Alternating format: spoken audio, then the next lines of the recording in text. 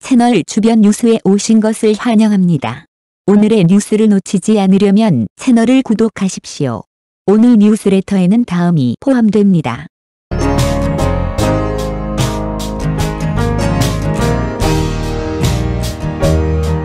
손태진 오늘 부르기 전 마음의 준비 김이나 가사 시 같아 인터뷰 1 가수 손태진이 신곡 오늘에 깊은 애정을 드러내며 가사를 쓴 작사가 김이나를 향해 고마운 마음을 전했다. 손태진은 지난 14일 신보 The Present Today's, The Present Today's를 발매했다. The Present Today's는 어른들을 위한 음악 동화를 주제로 기획된 첫 솔로 EP The Present 시리즈의 두 번째 음반으로 타이틀곡 오늘을 비롯해 로망 기타, Roman Guitar, 마중, 여름 공원까지 총 4곡이 담겼다. 전작 The Present의 The Time, The Present의 The Time, 이 편안하게 감상하기 좋은 곡들로 채워졌다면 이번에는 보다 묵직한 감정들을 꾹꾹 눌러 담아 다채롭게 표현해내는 데 집중했다. 최근 한경닷컴과의 인터뷰에서 손태진은 첫 번째 음반에 비해 비교적 무게감이 더 많이 느껴지고 곡의 스케일도 더 커졌다 면서 예술성으로 따지자면 기승전결을 많이 넣었다. 듣는 분들도 감정 소모가 있을 것 같다. 그냥 흘려듣기보다는 가사에 담긴 상황을 생각하면서 들으면 더 큰 울림과 감동을 느낄 수 있지 않을까 싶다. 고 설명했다. 타이틀곡 오늘은 서정적인 가사에 얹혀진 손태진의 따뜻한 보컬이 삶에 대한 감상을 불러일으킨다. 손태진은 오늘을 이전 앨범의 타이틀곡이었던 깊어지네와 비교하며 그와는 다른 레벨인 것 같다 라며 웃었다. 이어 부르기 전에 마음의 준비를 해야 한다. 더 무게감이 있는 곡이라 한 번에 만족스럽게 나오기가 힘든 것 같다. 고 털어놨다. 특히 곡의 주제를 섬세하게 표현해내는 가사의 힘을 거듭 강조한 그였다. 오늘의 가사는 작사가 김이나가 썼다. 손태진은 김이나 작사가님의 가사는 항상 손댈 데가 없는 것 같다. 며 극찬했다. 그는 원하는 걸 설명하면 기대 이상으로 돌아오더라.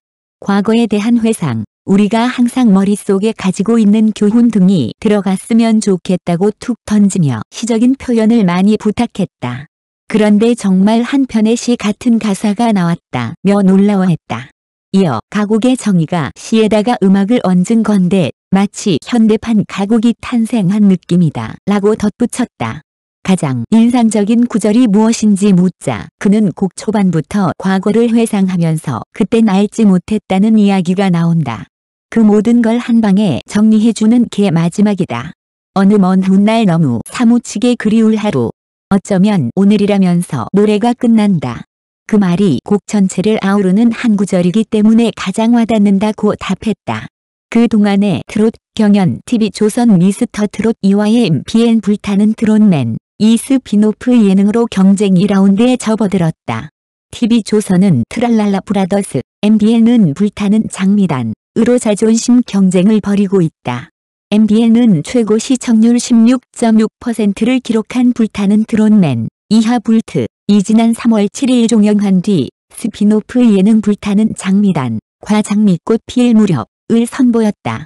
특히 불타는 장미단, 은 불트, 의 첫 스핀오프 예능으로 스튜디오 내 가수들의 대결이 아닌 팬들이 부르면 어디든 간다는 취지의 게릴라 버스킹 뮤직쇼다.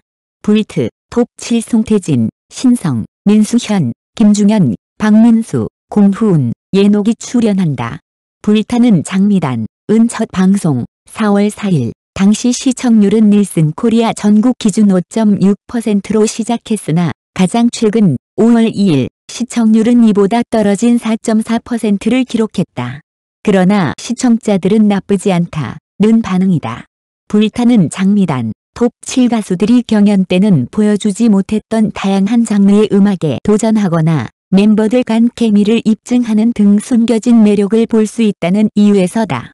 TV조선은 최고 시청률 퍼센트를 기록한 미스터 트롯 2, 이하 미트 2가 지난 3월 16일 종영한 뒤 첫 스핀오프 예능 트랄랄라 브라더스를 편성하며 맞불을 놓았다. 트랄랄라 브라더스, 도 미트에서 톱7을 차지한 안성훈, 박지현, 진해성, 나상도, 최수호, 진욱, 박성온과 더불어 화제의 참가자 송민준, 윤준협이 참가한다. 트랄랄라 브라더스는 는 참가자들이 개인과 라이브를 진행하는 게임 음악쇼로 과거 임영웅 영탁 김호중 등 미스터 트롯 시즌 1 결승전에 오른 가수들을 중심으로 평균 10%대 시청률을 기록한 사랑의 콜센터 의 명맥을 잇는 형태다. 트랄랄라 브라더스 의 첫 방송 5월 3일 시청률은 닐슨 코리아 전국 기준 4.7%로 수요일 전체 예능 프로그램 2위를 차지하며 쾌조의 스타트를 끊었다. 이자은 PD는 제작 발표회에서 트랄랄라 브라더스 만의 차별점에 대해 여러 트롯 예능 프로그램에서 사랑이나 노래를 다룬 것과 달리 트랄랄라 브라더스는 인간적인 개개인의 매력 탐구에 집중한다. 가족 오락관이라 생각하시면 된다. 고 설명했다. TV조선은 오는 11일 미트 2 톱7과 두 번째 스핀오프 예능 미스터 로또도 방송할 예정이다. 이는 톱7 멤버들이 황금기사단 7인과 노래방 대결을 펼쳐 로또 당첨의 기회를 획득하고 팬들에게 황금 굿즈를 선물하는 역조공 음악 예능이다. 스핀오프 예능은 기존 프로그램에 팬덤이 존재하는 만큼 새로운 프로그램을 편성하는 것보다 리스크가 적다. 미스터 트롯, 과 불타는 트롯맨, 을 통해 좋은 성적을 거둔 TV조선과의 MBN 입장에서 당연한 선택이다.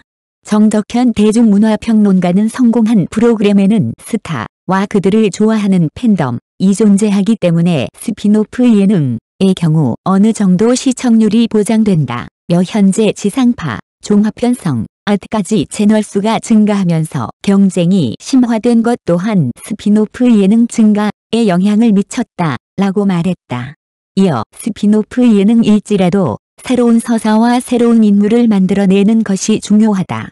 앞선 프로그램과 차별점이 있어야만 시청자들의 눈과 귀를 사로잡을 수 있다. 고 조언했다.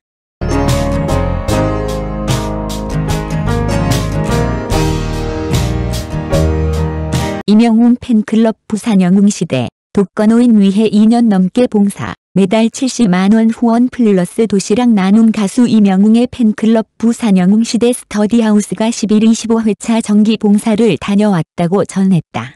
스터디하우스는 부산 연탄은행, 밥상 공동체에서 독거노인들 위해 2년 넘게 봉사를 하고 있다. 매달 둘째 수요일에 정기적으로 70만원 후원과 직접 조리하고 배식도 하는 도시락 나눔 봉사를 진행하고 특별한 기념일에는 김장 봉사, 연탄기부 등 선환영향력 실천을 해오고 있는 것. 정기 후원 70만원과 연탄 후원 등 특별 후원으로 총 누적 후원금은 3,620만원에 달한다. 이번 봉사에는 특별히 이명웅이 광고하는 진간장 이박스 특별 기부로 맛있는 나물도 만들었다는 후문. 부산 영웅시대 스터디하우스는 앞으로도 독거노인들을 위해 지속적으로 후원과 봉사를 하며 임영웅의 선한 영향력을 널리 퍼뜨리겠다라고 전했다. 영웅시대는 각종 기부와 봉사로 선한 영향력 실천에 앞장서며 팬덤 문화에 귀감이 되고 있다. 한편 임영웅은 스타 브랜드 평판 2023년 4월 빅데이터 분석 결과 1위를 차지했다. 그런가 하면 임영웅의 부산 팬클럽 회원들의 이야기를 다룬 단편 영화 출구, 감독 노하지인, 가 지난 1일 폐막한 제40회 부산 국제 단편영화제에서 BISFF에서 이관왕을 차지하기도 출구는 오퍼레이션 키노 부문 우수작품상 아고라상을 수상하는 영예를 안았다. 영상을 시청해 주셔서 감사합니다. 뉴스레터가 유용하다고 생각되시면 좋아요, 댓글, 구독을 잊지 마세요. 최신 업데이트를 받아보실 수 있습니다. 안녕하세요. 다음에 뵙겠습니다.